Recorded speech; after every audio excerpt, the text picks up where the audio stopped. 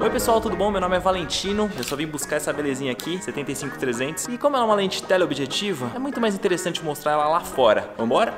A gente veio parar aqui no meio da Mata Atlântica, que eu acho que é o cenário ideal assim para você usar sua teleobjetiva. E a gente deu muita sorte porque a gente estava na estrada, a gente encontrou os macacos aqui e como a gente está filmando com uma grande angular, eu acho que vocês não vão conseguir vê-los. Por isso que é sempre interessante você ter uma tele com você.